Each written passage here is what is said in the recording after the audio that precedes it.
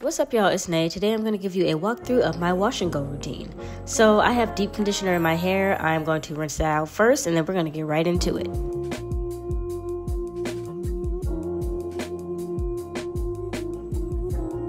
Like with any styling of my hair, I'm going to make sure I add plenty of water during this process. So, you're going to be seeing me doing that a lot. So, for my wash and goes, I don't use any leave in, I just use water and two gels.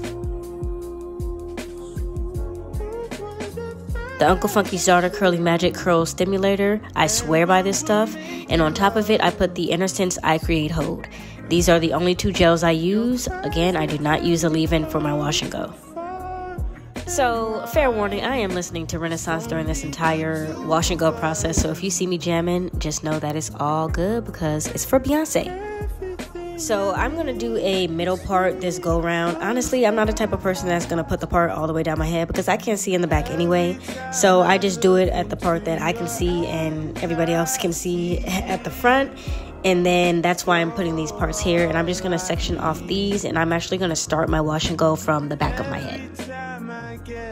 Just like with styling my hair when I stretch it, to do this, I also work in small sections. So I put everything into fours and then you're gonna see that I have that four again. Just gonna pop in really quick here to say if you've been enjoying this video and you wanna see more content like this, go ahead and subscribe, give this video a like because I am a new creator and I wanna know if y'all like this content, so let me know.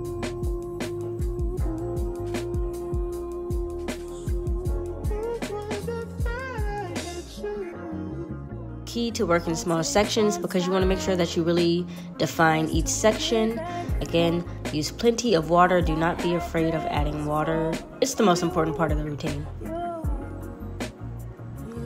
So I squeeze some of the Uncle Funky's Daughter in my hands first and emulsify it. Again, that just means to rub it in your hands to make sure that the product does actually get broken down.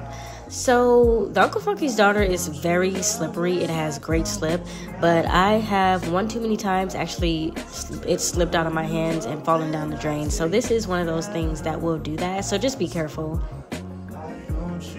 I rake it through my hair and I also obviously already detangle while I am deep conditioning, but I'm also getting a little bit of detangling done here. You don't want to just put the gel on your hair and then call it a day, and then you have a tangled up wash and go because that sounds terrible and you don't want that. You want this to last and you want it to be thoroughly moisturized.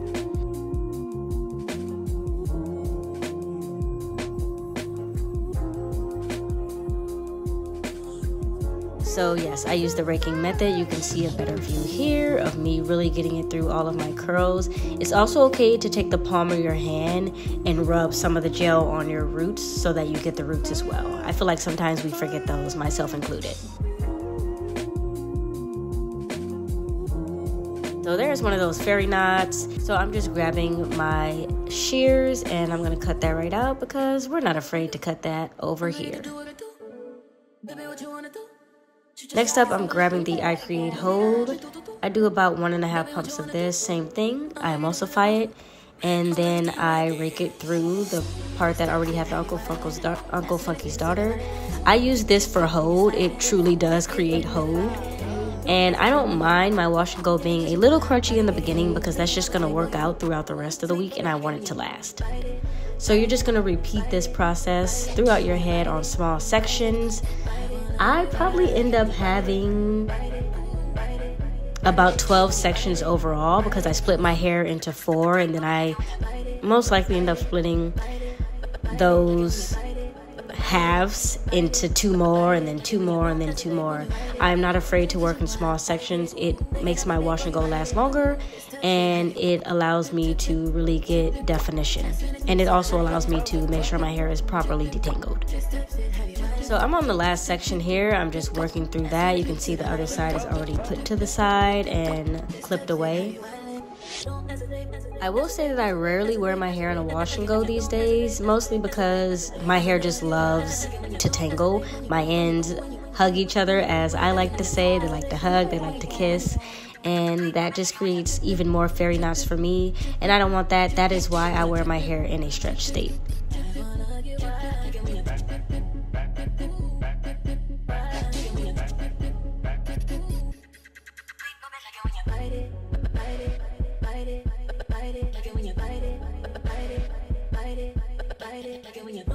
Don't when you it.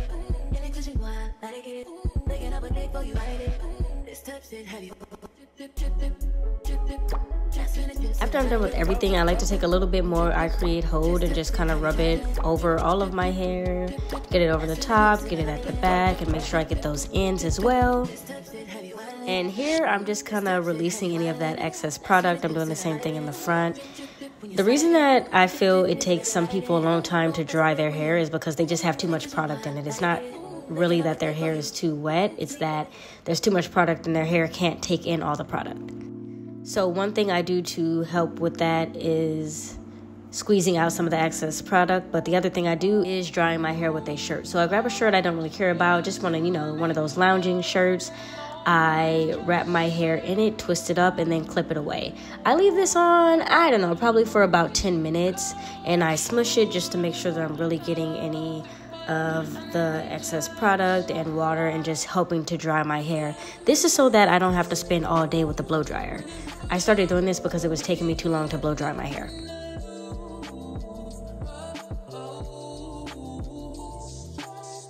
So this is after a little bit. I'm also wearing a shirt that I don't really mind getting wet or getting gel on. So I am taking the shirt off. You can see there's definitely still product, but really not as much as it would be had I not squeezed out excess product and had I not used the towel first. Next up, I'm going to dry my hair off with some paper towels. Use paper towels instead of a towel because towels are meant to dry your body, not your hair. so that's why I use a paper towel and I really just pat. You don't want to go rubbing it through and creating frizz and all of that. I'm just patting, I'm squeezing, again, more excess product out just to make sure that when I do go in with my blow dryer, I'm going in on hair that's actually already absorbed a lot of the product and not just sitting on top of my hair. One thing I forgot to mention, make sure that when you are doing your wash and go, you get your edges. I also take the palm of my hand and kind of rub my edges back as if I was going to put my hair in a ponytail to make sure that I get my edges. You don't want to end up getting all of the rest of your hair and then your edges are like, where's my wash and go? Like, you didn't give me a wash and go at all. You don't want to do that. So I always make sure that I go in and get my edges as well. So I used to be a person that air dried all the way, but I don't do that anymore because quite honestly it takes too long. Again, I am not a strictly curly girl method natural. I don't mind using a little heat. I'm using heat to blow dry my hair, obviously.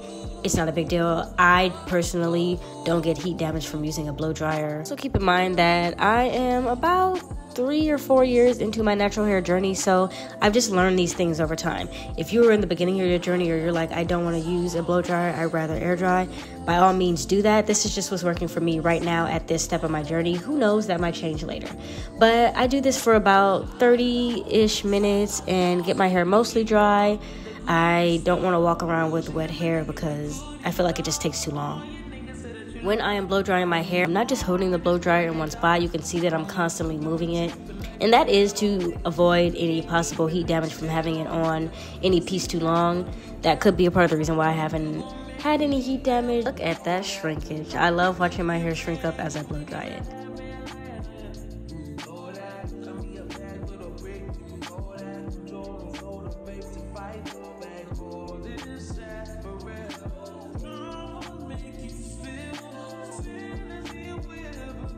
That's gonna wrap up this video. If you have any questions, definitely let me know in the comments. I am always happy to answer.